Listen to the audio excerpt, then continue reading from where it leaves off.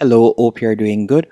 In this video, I will be showing you how to record yourself while presenting. Once on canva.com, you're going to tap on presentations below the search bar. After you have done that, you can select the dimension just like what you normally do when creating a presentation. Then you're going to be redirected to a new page. For the sake of time, I'm just going to be adding one of their pre-made templates from the left-hand menu option. But with Canva, you could also select layouts from the top left hand corner and you could choose a layout or you can choose from one of their styles right there. So I'm going to be selecting this template just for example sake. Now to record yourself while presenting, you're going to tap on present in the top right hand corner.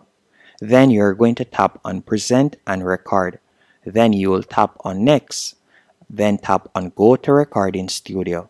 Once you have done that, you can choose whether you'd like to record your face as you can see right here, or you can choose to use no camera and only record your voice. So I'm going to be recording my face also. Then you will tap on start recording. After selecting start recording, you can go through your presentation. So for example, I can go through the slide and I can make my presentation. You can also add notes at the side in the top right hand corner that will only be visible to you. So while creating your presentation, you could add your important notes right here that you would like to talk about. And don't worry, this is the only section that is being recorded.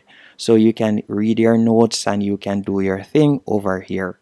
Once you're finished, you're going to tap on End Recording from the top right hand corner of the navigation bar.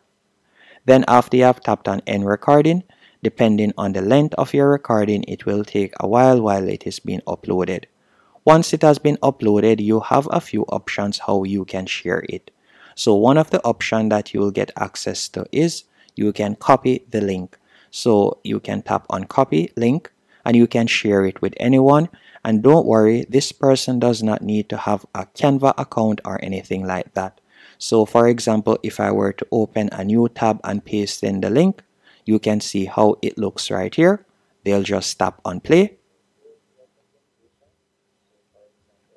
And you can see it right there. So that's how they'll be able to watch your recording. You can also choose to download it and then share it as a video. Or if you don't want to do that and you think that you have made some mistakes while recording, you could tap on save and exit and then from there you could go into your presentation and you could edit it further. If it is a case that you had only recorded the audio, you could go over to the top left hand corner and select audio and you would see the audio track right there. And that's it. Hope you found this tutorial helpful and informative. If you did, be sure to hit the like button and subscribe.